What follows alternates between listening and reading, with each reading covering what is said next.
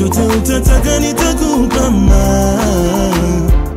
guys, welcome back to our channel. It's Fanny Lungu back with another reaction video. If you're new to this channel, make sure to give this video a thumbs up, share it with your friends, and of course, do not forget to subscribe. Like I said, my name is Fanny Lungu, and on this channel, we post reaction videos each and every day. You can check out our second YouTube channel called Fanny and Jessy 2.0, our podcast Diving In with Fanny and Jessy, our Patreon Fanny and Jessy. You can find the links to what I mentioned in the description box.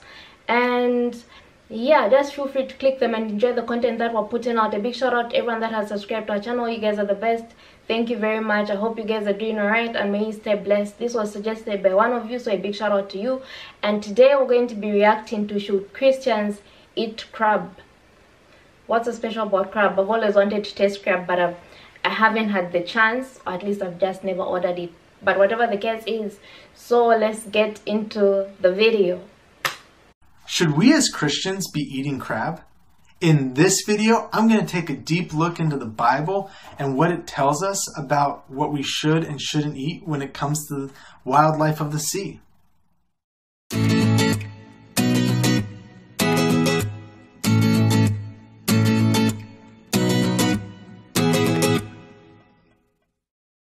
Hi, I'm Tyler, your Christian personal trainer, and here at 517 Fitness, I'm all about helping you lose weight and gain faith. If you're new to this channel, go ahead and hit that subscribe button. I would love for you to join the 517 Fitness family. So, as part of this biblical lifestyle, this biblical eating plan that we're creating here on 517 Fitness, we have to take a deep, hard look at the Bible verses that talk about basically our diet, which leads us into Leviticus 11 9 through 12 reads Of all the creatures living in the water, of the sea, and the streams, you may eat any that have fins and scales. But all creatures in the seas or streams that do not have fins and scales, whether among all the swarming things or among all the things living creatures in the water, you are to regard as unclean. And since you are to regard them as unclean, you must not eat their meat. You must regard their carcasses as unclean. Anything living in the water that does not have fins and scales is to be regarded as unclean by you.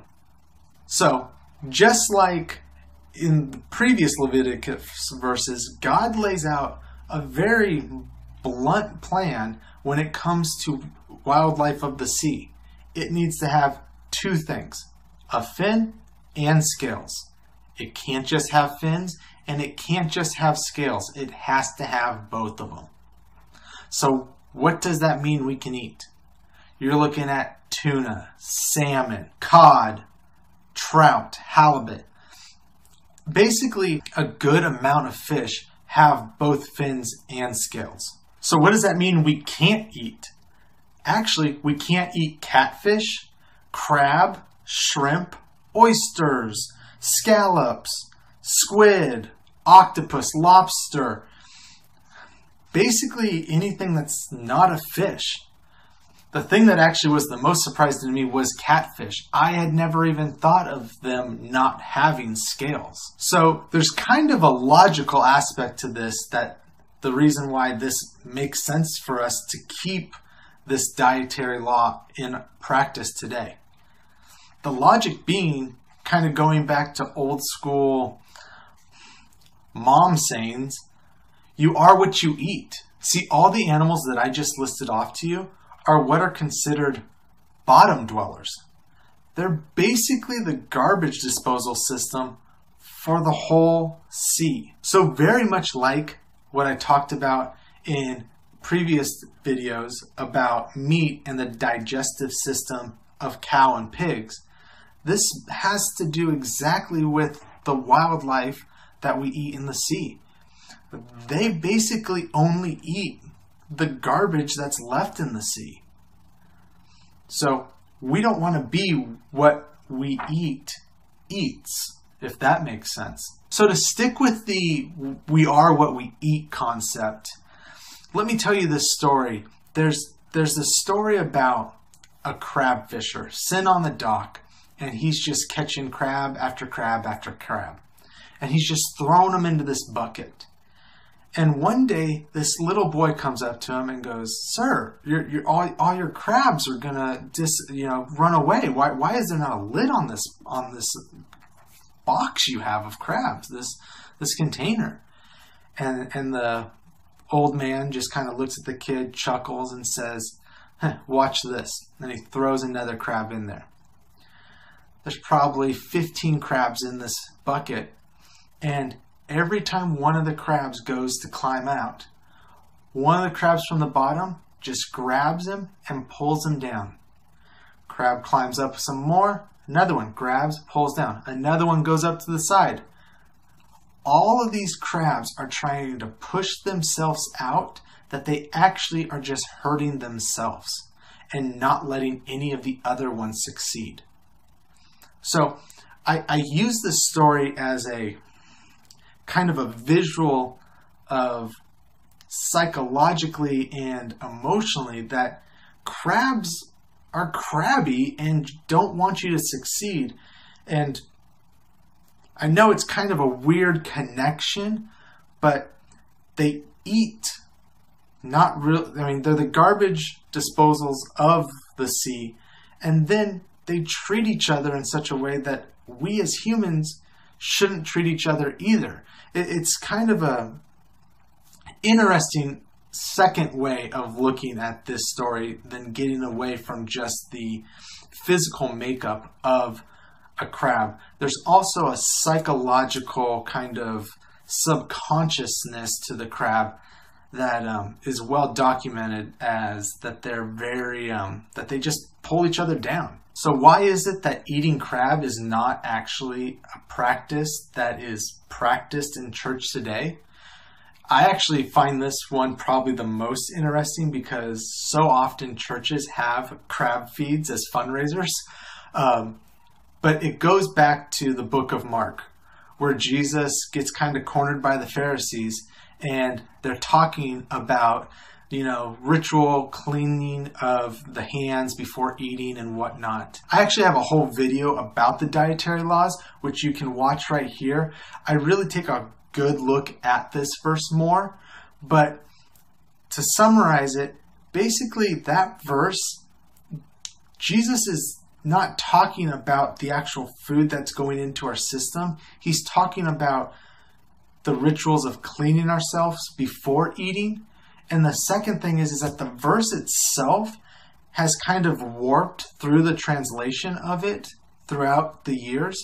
And the part that says, thus Jesus made all food clean, isn't fully a part of the Bible. There's a part of it that is actually just the translator's translation of what is going on in the full context of that verse. And like all of this, the verse that actually kind of to me summarizes this the best is Matthew 5:17 through 19, where it says, "Do not think that I have come to abolish the law or the prophets.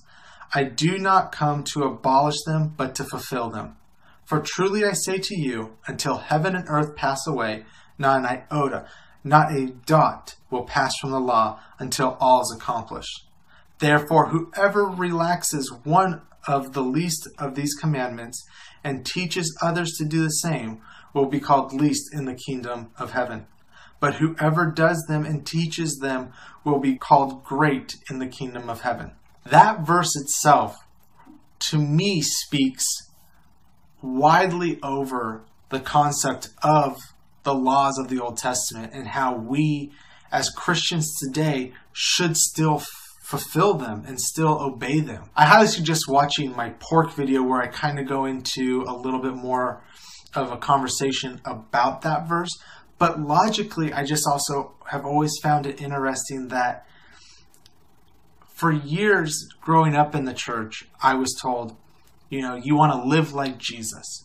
You know, what would Jesus do? Jesus would be obeying those laws, but yet nobody wants to obey them now. It, it, it, it was it's so interesting to me how people kind of mold this in such a way that fits into what they want. And here's the thing that really is interesting is that if I wanted to mold this in a way that was how I like, I like eating crab. I like eating lobster. I think they're delicious. I love calamari. I'm a huge sushi fan. In the fact that I can't eat crab wipes out huge amounts of sushi options. But I believe that God is saying that that's how we should eat is to not eat animals of the sea that don't have a fin and don't have scales.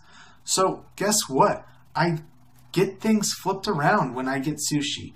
I don't get calamari when I'm out at, with friends as an appetizer. I think they're called po' boys.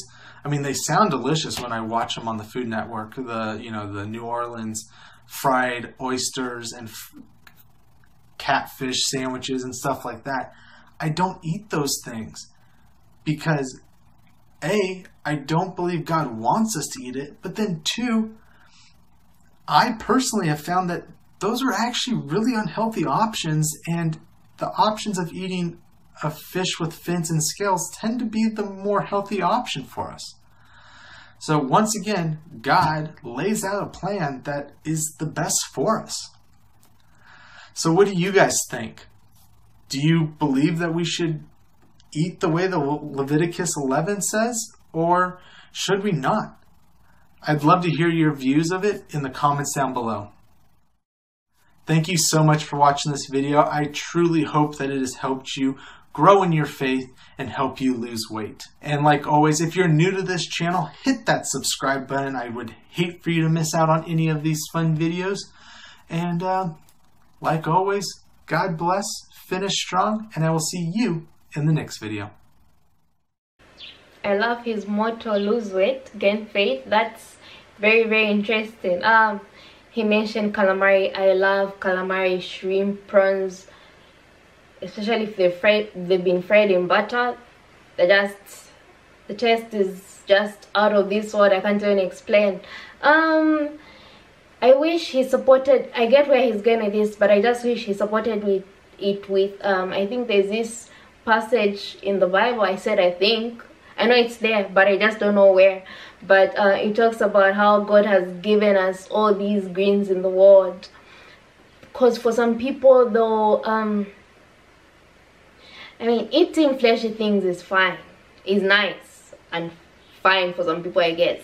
But when you look at it, why are we eat? We are animals, so why are we eating other animals? Why can't we? Um, I'm not vegetarian, vegan, or anything. I still eat uh, meat, chicken, whatever it is, but in small portions. Like I think I've said this before. It's like the taste is just I don't know if I've eaten it too much, but it's not. It's just not something that I want to eat too much anymore of. I thought I would never be the person to say such a thing, but really just I would make it for my parents, but for me, I'm reducing on how much meaty stuff I intake otherwise it's okay for some people and it's okay if you interpret the verses that he was saying differently but i think god wants us to be in a healthy state because our souls occupy these bodies and it's our um it's our job to take care of our bodies. Let's be healthy let's exercise let's eat the right foods or amounts of foods and once you're healthy once you feel good about your body you even feel good about other things as well. You're healthy you're confident you're more faithful. However i want to take the video. Otherwise this was very interesting and a big shout out to the person that suggested this and and this is something different that we're reacting to. I think this is the second time someone has actually suggested a christian um video if i'm not mistaken. Otherwise this was great. Make sure to give this video a thumbs up share it with your friends and of course do not forget subscribe and i'll see you in the next reaction video